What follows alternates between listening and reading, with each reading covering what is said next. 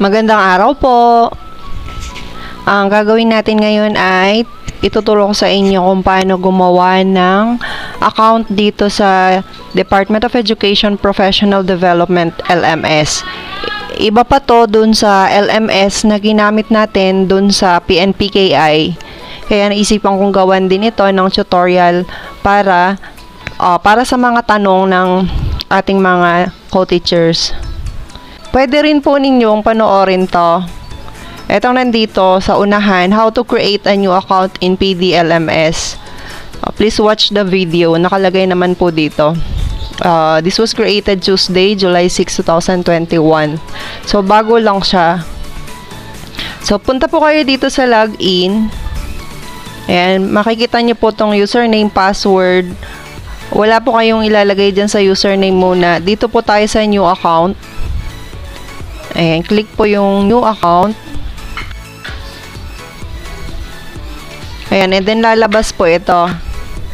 Choose your username and password. Ayan, sabi dun sa video sa unahan kanina, sa tutorial nila, pwede mong gamitin yung DepEd email account mo. Ayan.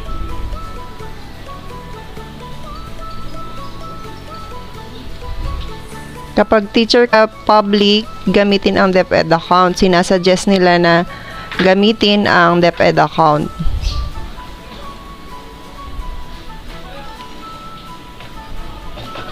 Pag sa private naman daw, yung personal account po ang pwede nilang gamitin.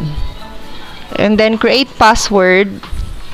Sabi po dito, the password must have at least 8 characters, at least 1 digit, at least 1 lowercase, at least 1 uppercase, at least 1 non-alphanumeric character such as asterisk, dash, or number sign. Ayan yung mga password. So, sa akin, gamitin ko yung password ng isa kong account. Ayan. So, okay na siguro yan. And then, email address. Copy lang yung mga nandun ng details. Ayan, automatic na. Automatic na siya. Tapos, ito, uh, sa pangalan po, dapat all caps. Ayon dun sa video. Sa, sa lugar, nakita ko dun sa video, ay hindi siya all caps. Sentence case po siya.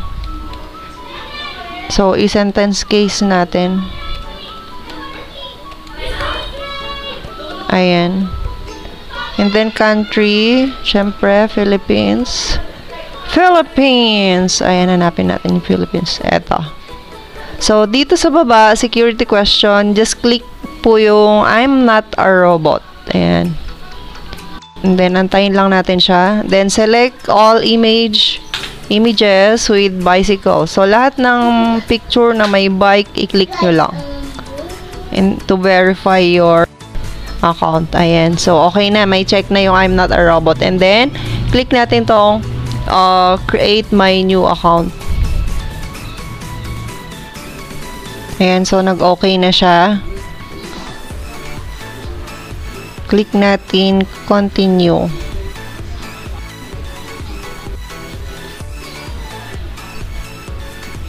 So, andito na tayo. Training system for teaching and non-teaching personnel. Ayan. So, meron na akong pangalan. So, ibig sabihin, naka-register na ako dito sa Professional Development LMS. LMS pa rin siya. Kaya lang, dito naman siya sa Professional Development. Iba-iba sila ng site. Ayan. So, nandito na tayo sa ating dashboard.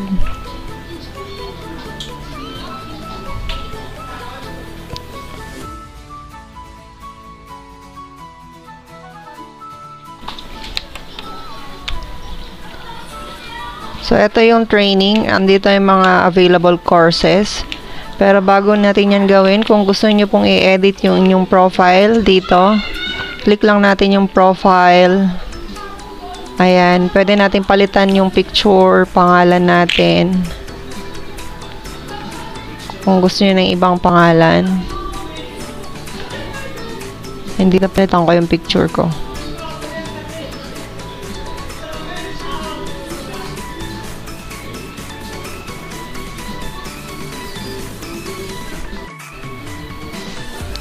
Pic. Ayan, upload tayo ng picture. Choose file. Parang ganito rin dun sa PAI. Choose your file. Ayan. Napin lang natin dito. Halimbawa ito. Oh, meron na akong ID. Save ko lang siya. License not specified. So, bahala na kayo dyan. All rights reserved. Bahala kayo sa picture niyo. Then, click upload. Ayan na siya. Save natin. Update profile sa baba. Ayan, na-update na siya. Ayan na siya. Na meron na akong picture doon. So, kanina sabi, Congratulations, you just earned a badge. O, dahil nag-update ako ng profile, nagkaroon ako ng badge. Ayan, dito yung mga courses. Ayan, so i-search natin yung course na available. Uh, search natin sa course yung webinar. Ito, naka-type na kasi dito. Webinar Series 2021 for National Science Club. Then, click natin yung go. Tingnan natin.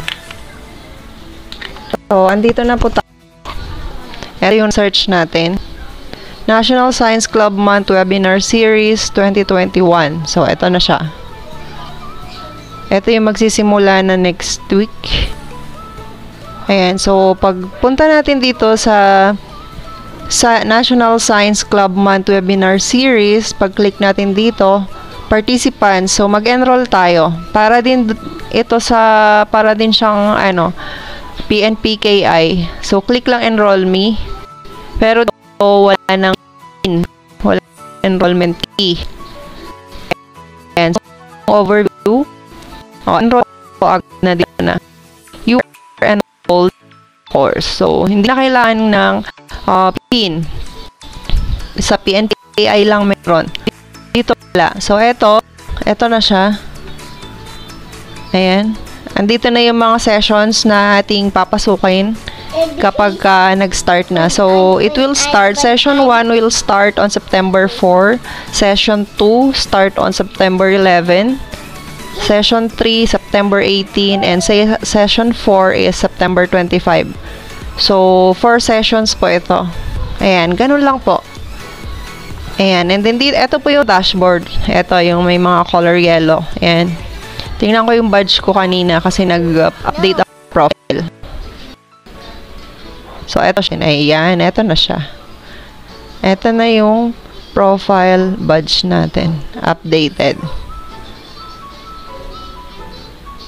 Ayan. So, dapat ma-complete yung first name, last name, email address, user picture, city, town, and country para magkaroon kayo ng profile badge.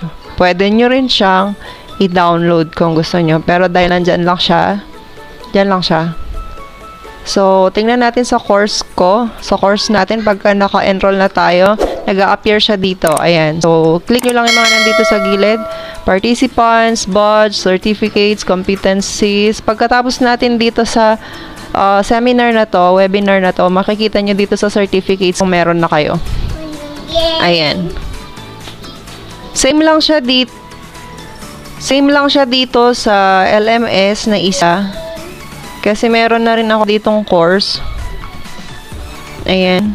Nung nag-virtual inset for public school teachers nung March, eto, nandito yung mga certificate ko. Ayan.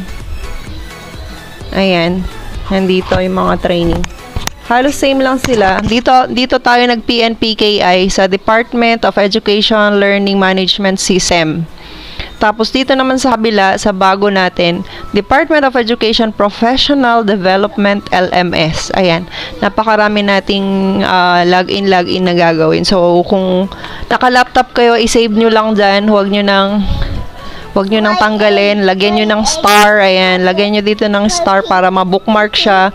Tapos whenever na kailangan nyo, click nyo lang yung mga bookmark portions nyo para makita nyo kaagad.